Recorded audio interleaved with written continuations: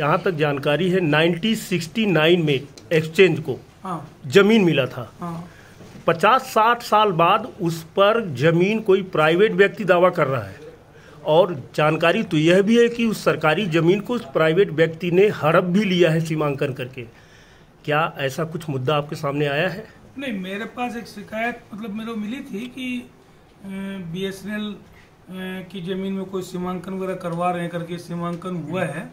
ज़मीन अगर B S N L की है तो बी एस एन एल की ही रहेगी चाहे कोई व्यक्ति हो उसको नहीं हड़प पाएगा नहीं जब सीमांकन हो गया है तो सीढ़िया बैठाना है तो कुछ आप बताइए कि क्या सीमांकन सीमांकन जब तक उसकी रिपोर्ट साइन करके और सीमांकन के बाद भी उसका प्रावधान है अगर कोई भी व्यक्ति ये बोलता है कि सीमांकन गलत हुआ है तो उसको टीम गठित करके भी सीमांकन कराया जा सकता है।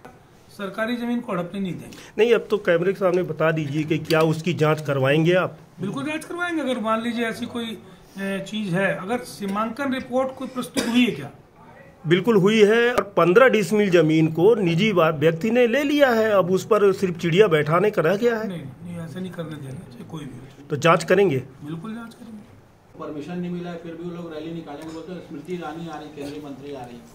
देखिए वो रैली की परमिशन देना, नहीं देना ये तो जिला प्रशासन का काम है। और परिस्थितिवश कभी रैली की परमिशन नहीं भी मिलती।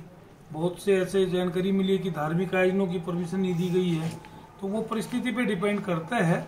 और अगर वो, मान लीजिए कोई नियम से हटके कोई काम करते हैं तो प्रशासन अपना काम करेगा। क्या छत्तीसगढ़ में सचपुन महिलाओं के साथ कुछ ज़्यादा ही अन्याय हुआ है कि जिसके कारण स्मृति ईरानी बिलासपुर में आकर हुंकार रैली कर रही हैं? या अगर स्मृति ईरानी इस रैली को यूपी में जाके करती तो ज़्यादा बेटर होता।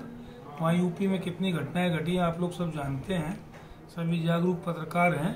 तो ये जो भारतीय जनता पार्टी की सरकार है यूपी में और वहाँ क्या क्या घटना घटी है किस प्रकार से लोगों को कुचल दिया गया किस प्रकार से महिलाओं के साथ अत्याचार हुए तो अगर स्मृति ईरानी एक रैली यूपी में करते तो ज़्यादा बेटर होता। ये राज्य सरकार के दबाव के कारण जिला प्रशासन ने इस तरह का आदेश जारी किया ताकि 11 नवंबर का जो रैली है राज्य सरकार का मेरे ख्याल से तो ऐसा कोई दबाव राज्य सरकार की तरफ़ से नहीं है।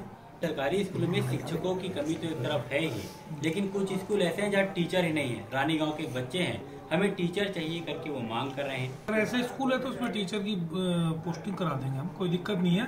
नारायण चंदेल जी का कहना है कि ईडी और आईडी साल भर कार्य करती हैं तो फिर आपको इसका क्या विरोध करना है? राज्य सरकार का ये बोलना है कि ईडी आईटी जो है वो जहाँ गैर भाजपा सरकारें हैं वहाँ ये कार्रवाई कर रही है। ये आरोप लगाया गया है। हमारे मतलब सरकार के मुखिया ने लगाया था जो आरोप। और बाकी जो है अगर मान लीजिए कोई किसी प्रकार की कार्रवाई होती तो हम कोई कार्रवाई व्यवधान तो डाल नहीं रहे हैं। ठीक चुनाव के समय ही लोग क्यों भ्रष्ट नज़र आते हैं? ये तो देखो वो तो केंद्र में भाजपा की सरकार है। अब उनकी क्या सोच है? क्यों इस प्रकार की कार्रवाई कर रहे हैं? उसका तो जवाब वही दे पाएँगे पूनिया जी की रिपोर्ट में क्या है? मुझे इसकी जानकारी नहीं है। और मैं उन रिपोर्टों से सहमत भी नहीं हूँ। इस प्रकार का अगर परफॉर्मेंस की बात कोई आ रही है तो उस रिपोर्ट का मैं मतलब उस रिपोर्ट को मैं उसको मान्य नहीं करता। केंद्र सरकार जब से कोरोना आया है, जब से रेलवे के साथ खिलवाड़ कर रही है और सिर्फ़ लदान पे ध्यान दे रही है ताकि उसको इनकम हो सके और आपका सवारियों से उनको कोई लेना देना।